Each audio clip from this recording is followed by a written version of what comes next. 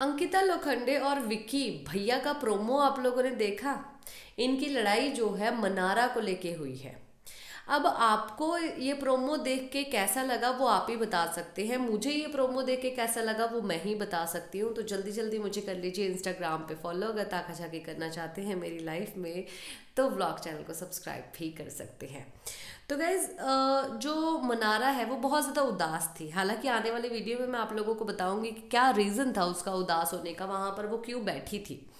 तो विक्की भैया जब वहाँ पर जाके खाना खा रहे होते हैं, तब ये बताती हैं कि भाई, तुम यहाँ पर बैठ के खाना क्यों खा रहे हो? अब विक्की भैया का भी कहना सही है कि क्यों मैं वहाँ पर बैठ के खाना नहीं खा सकता? विक्की भैया फिर भी पीछे पीछे आ गए हैं। ये बिहेवियर मुझे अंकिता का बहुत ही ज़्यादा गंदा लगा है। जब तुम कंसर्न दिखाते हो मतलब कि फिर तुम अब दिल से अच्छी हो नहीं, तुम बस कंसर्न दिखाती हो।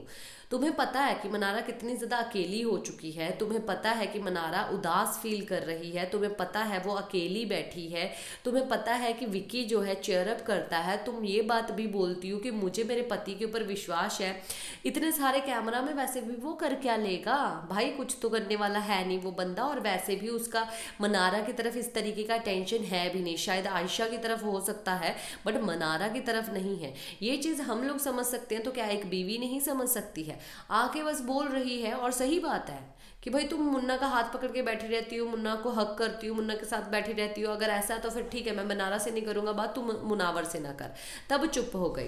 तुम वैसे कंसर्न दिखाती हो, अब क्या नहीं दिखा सकती कंसर्न की भाई वहाँ पर बैठे हो? चल अच्छा किया विक्की, क्या बोल रही थी वो? एज अ एक एक जो बीवी होती है ना, वो दोस्त भी बन सकती है।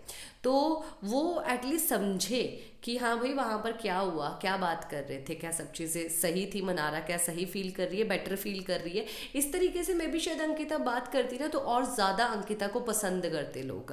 पर अंकिता जिस तरीके की अब चीज़ें करती है तो इसीलिए दो फेस जो है दिखाई देते हैं अंकिता लोखंडे के। मैं पहली बार इतनी बड़ी बात अंकिता लोखंडे के बारे में बोल रही हूँ अदरवाइज़ मैं उसके बारे में कुछ ऐसा वैसा कुछ नहीं बोलती। बिकॉज़ ना मुझे वो अच्छी लगती, ना मुझे वो बुरी लगती। है इसी के साथ मैं लेती हूँ इजाज़त, नमस्कार।